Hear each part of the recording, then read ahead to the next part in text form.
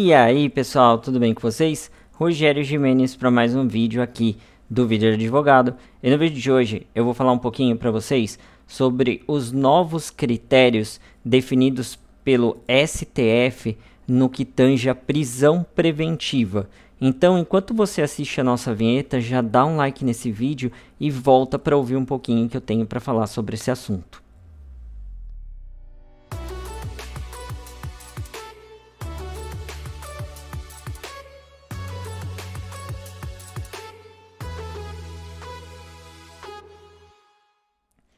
Pois bem, pessoal, o STF, através de um julgamento com voto do ministro Edson Fachin, ele julgou procedente algumas ações quanto à interpretação da Constituição Federal é, sobre a fixação da prisão temporária.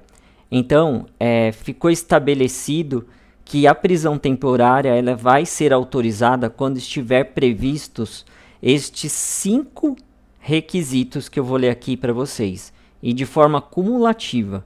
Então, quando for imprescindível para as investigações do inquérito, constatada a partir de elementos concretos e não meras conjecturas, sabe, aquelas suposições, vedada a utilização é, como prisão para averiguações, ou seja, eles não podem prender uma pessoa só porque eles querem averiguar, né?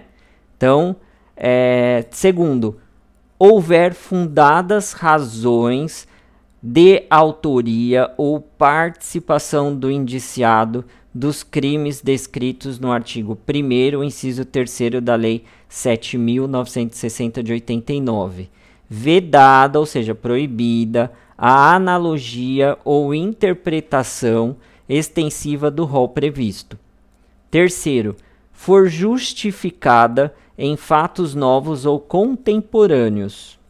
Quarto requisito: for adequada à gravidade concreta do crime, às circunstâncias do fato e às condições pessoais do indiciado. E o quinto requisito: não for suficiente a imposição de medidas cautelares diversas. Ou seja, quando as medidas cautelares diversas não é suficiente, então pode realizar a prisão preventiva. Então, é, vale a pena a leitura, tá lá na ASP, tá? Então foi por maioria o plenário do Supremo Tribunal Federal fixou esses requisitos da prisão temporária que tem previsão na lei 7930 de 89.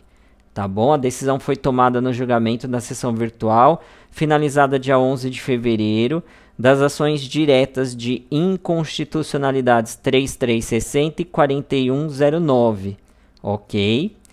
Então, vale a pena a leitura. Um grande abraço, até o nosso próximo vídeo. Tchau, tchau.